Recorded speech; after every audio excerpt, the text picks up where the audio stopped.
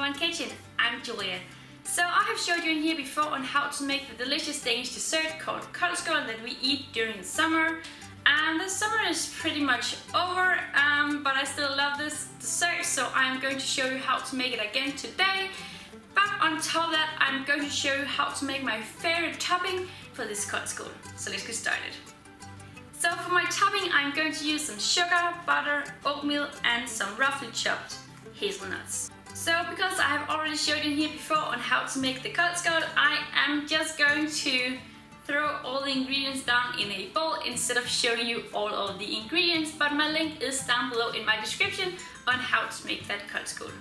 So first off, I'm going to start with making my cut koldskål, and in this bowl here I have some sugar, and I'm just going to pour in my buttermilk.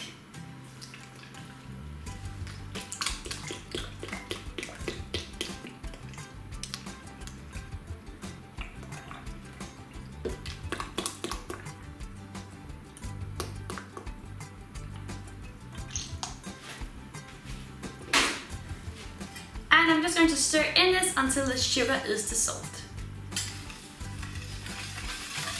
And I have just switched my whisk out with a spoon instead because it is much easier to feel and hear when the sugar is dissolved. And you don't need to whisk this mix, it is just enough just stirring in it. So my sugar is now dissolved and I'm just going to add in my cream. And it is heavy cream that I am using. So in with that and in with my lemon juice and in with my vanilla extract.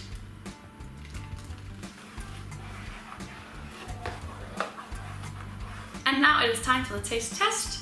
Just going to take some here. That is so, so good. And now I'm just going to place it in the fridge for about an hour. And while that is in the fridge, I'm going to make my topping. My topping is very easy to make. I'm just going to add all of my ingredients into a pan over at my stove. And that was my hazelnuts, oatmeal, butter and sugar. And just keep stirring in it until the sugar and butter is nice and melted. And it all has a golden brown color. And then the topping is done.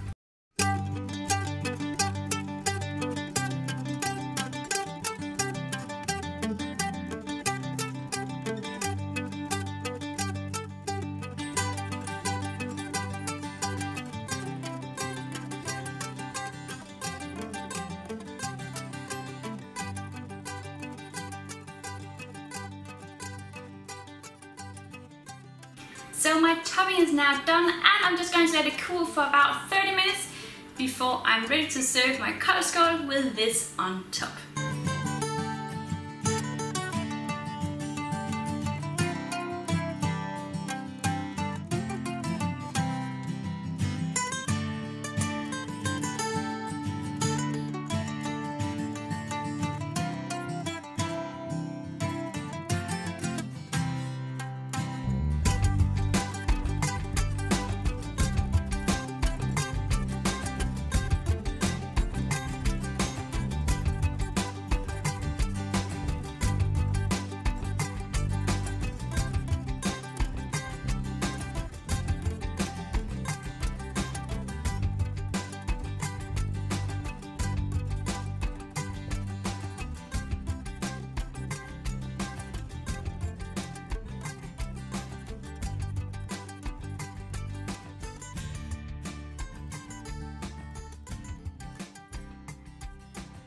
So I really hope you enjoyed this recipe and I also added in some strawberries because that just makes it even better and if you want to give this a go just go down my description and you can find all the ingredients down there and don't forget to subscribe to my channel here and I hope to see you all again tomorrow.